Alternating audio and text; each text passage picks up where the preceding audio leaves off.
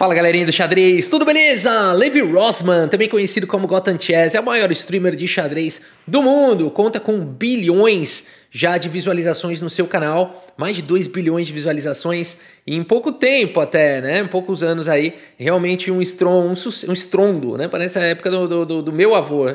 É um grande, uma, um grande, uma grande revelação né, para o mundo do xadrez, um cara que tem feito um trabalho incrível é, na popularização do xadrez no âmbito mundial. E aqui ele está jogando um torneio, ele ainda tem o sonho de se tornar grande mestre. Ele falou isso no detector de mentiras lá, né? Você ainda quer se tornar grande mestre? Não, não, mentira, quer, quer muito, né?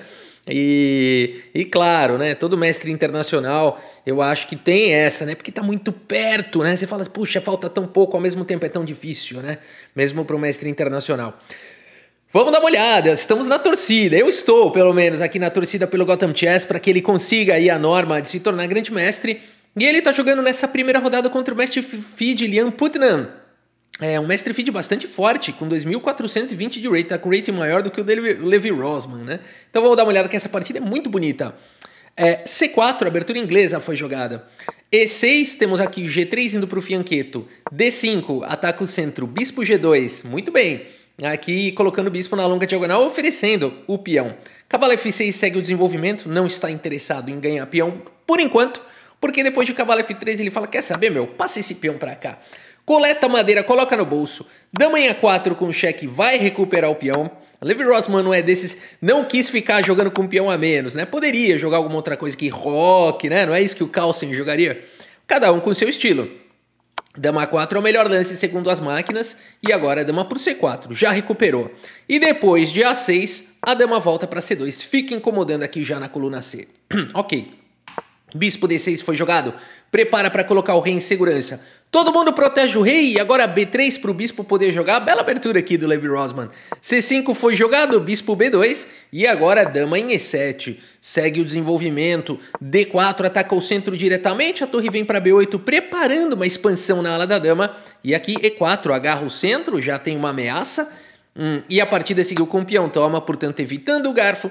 E aqui, cavalo toma. E torre D8 foi jogado. Por enquanto, simetria. Dois peões na ala da dama, quatro peões para cada um na ala do rei.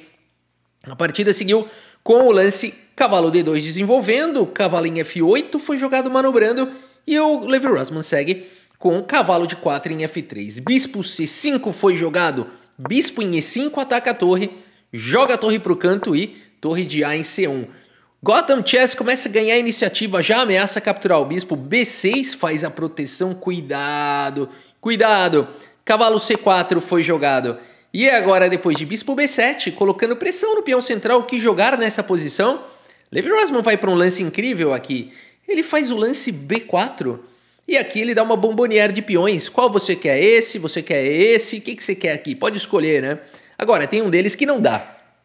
É, por exemplo, capturar esse peão aqui atacando a dama não funciona porque bispo por cavalo elimina a defesa do bispo também atacando aqui a dama, né? E a dama está protegida, o que significa que depois das trocas aqui, muito bem, as brancas têm uma peça a mais, né? Portanto, B4, um excelente lance, não dá tempo de capturar o peão central. Bispo B4 foi jogado, mas agora o peão de B6 cai. Cavalo B6 foi jogado. Torre atacada vem para a, a, casa de A7. Não sobrou nenhuma outra, né? Notem aqui o bispo e o cavalo fazendo aqui um grande trabalho. E esse bispo aqui também, logo mais. Dama B3 foi jogado. Levi Rosman coloca pressão aqui. A dama está meio sobrecarregada tentando defender todo mundo. É, seria possível jogar um lance do tipo cavalo em E8, né? Aliviando a sobrecarga. Mas aqui bispo C5 foi jogado. Levi Rosman vai tentar castigar isso, segue com o cavalo em A4, atacando o bispo. O bispo não consegue mais ficar nessa diagonal, o que significa que a casa de B6 pode ser explorada em breve. E aqui o Liam segue com o melhor lance da posição, cavalo por E4. Olha a confusão. Temos cavalo por C5, cavalo por C5 ataca a dama, e aqui dama chega na casa de B6. No entanto, o Liam segue com o melhor lance da posição, bispo por cavalo, de forma a proteger a torre. E depois de bispo por F3, o Lian tem aqui um problema. O cavalo dele está atacado duas vezes, pela dama e pela torre. E aqui também os bispos estão completamente ativos. Opa, o que, que é isso aí? Esses bispos aí convergentes, isso aí não existe. Bispos extremamente ativos, o cavalo atacado e a dama meio na sobrecarga aqui tentando defender todo mundo, hein? Olha a confusão, Levi Rosman ganhando a iniciativa. Melhor lance da posição foi jogado F6.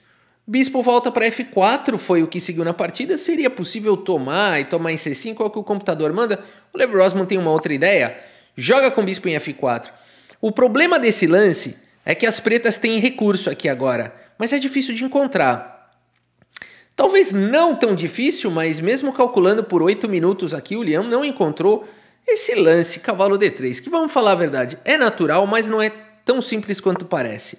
Cavalo D3, tira o cavalo do ataque, com um tempo aqui sobre a torre e sobre o bispo. No entanto, aqui existe ainda um incômodo, porque depois de torre de 100 em D1, você não vai querer capturar o bispo, já que existe uma pressão aqui para cima da torre. No entanto, existe um recurso aqui, na verdade existem vários. E5, mas o melhor de todos é esse, ó, porque tira o contato da dama com a torre, protege mais uma vez a outra torre, faz a coesão total das peças. E as pretas não tem nenhum problema nessa posição. Ah, mas tá caindo o peão de A e no final das contas as brancas vão ter um peão passado na coluna A. Sim, isso de fato incomoda, mas os computadores dizem que é gerenciável. Talvez o Liam tenha visto essa linha e não tenha gostado de jogar no longo prazo contra um peão cuja casa de promoção está protegida pelo bispo. Computadores conseguem jogar essa posição com igualdade, até acham que os pretas estão melhores por conta da estrutura de peões. Na prática, precisa ter muita coragem, muito cálculo, né, para poder encarar um negócio desse. Por isso, cavalo A4 foi jogado. E agora a dama tá atacada, o cavalo ficou em segurança, mas agora a dama em A5 e o cavalo tá ficando sem casa, hein? Esse cavalo já não tem mais como proteger, só sobrou a casa de B2. Cavalo B2 foi jogado. Peça solta, alvo de tema tático. Vamos ver como segue aqui, como é que explora isso. Gotham Chess vai mostrar de uma maneira magistral isso. Ele segue com o lance Bispo C7, que coisa linda aqui. Aproveitando o suporte da dama e da torre, corta a conexão da dama com essa torre, prepara o caminho para um duplo e ao mesmo tempo ataca a torre, ganhando um tempo que segue para a casa de C8, já não tem tantas casas assim para essa torre. Torre C8 foi jogado e pelo menos agora o bispo está atacado aqui três vezes. No entanto, isso era o que o Gotham Chess queria, desviar essa torre para a casa de C8, de forma que bispo D6 exclama aqui, ah, vamos pôr um brilhante aqui, Bispo D6 ataca a dama e ataca a torre. E essa torre não pode capturar aqui porque não tem cheque, vai cair a dama. Sensacional. E agora o que jogar? É, dama D8 foi jogado protegendo aqui a torre e propondo a troca das damas, evitando dama B6. Mas agora, olha que espetáculo aqui. Gotham Chess, Levi Rosman, segue com o lance que exclama com a dama atacada. Ele segue com o lance torre por torre, meus amigos. Que sensacional, né? E não dá tempo de capturar a dama por conta de torre por F8. Cheque mate. Que partida bonita. Por isso, depois de torre por C8, o Liam tem que jogar a dama por C8. Mas agora isso libera a casa de... Muito bem, a casa de B6, uma combinação infinita aqui do Levi Rosman. A dama ainda consegue proteger com dama D7, protege a torre. Se dama capturar o cavalo, cai o bispo. Mas depois de simplesmente Dama B8, olha isso, cara. Olha essas casas escuras, olha esse tema do Levi Rosman. Todas as casas escuras, escuras protegidas e todas elas atacando as peças aqui do adversário. E por isso nessa posição Liam abandona aqui a partida. Abandonou porque não dá mais. Meus amigos, que partida foi bonita, né? E aqui tem que defender, tem que jogar. Vamos colocar aqui uma possível continuação? Tem que jogar um dama F7, mas aí a dama ficou sobrecarregada, o cavalo ficou solto, você simplesmente pode capturar e pode capturar aqui o cavalo se você for um computador, né?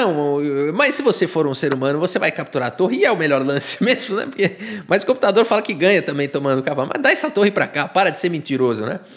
Meus amigos, que partida espetacular aqui do Levi Rosman. Vamos dar uma olhada aqui no relatório do chess.com. Vale dizer que ele começou muito bem esse torneio com essa vitória. No entanto, na segunda rodada ele jogou de negras contra um jogador de 2000 de rating feed e empatou. Tá? Então, assim, vamos ver se ele consegue manter essa consistência, que é o mais importante, né, Nos, nas próximas rodadas e e quem sabe conseguir aí a sua norma, né? 93,2% de precisão para Levi Ross, uma precisão muito alta. 84,8% para o adversário, a gente vê que tinha aquele recurso, né? Do cavalo D3 aqui, não jogou, acabou jogando outra coisa aí, aí já não dava mais. Muito bem, meus amigos, é isso. Partida emocionante. Espero que vocês tenham gostado aqui dessa partida e do vídeo. Muito obrigado pela sua audiência. Um grande abraço para todos vocês e até a próxima. Valeu!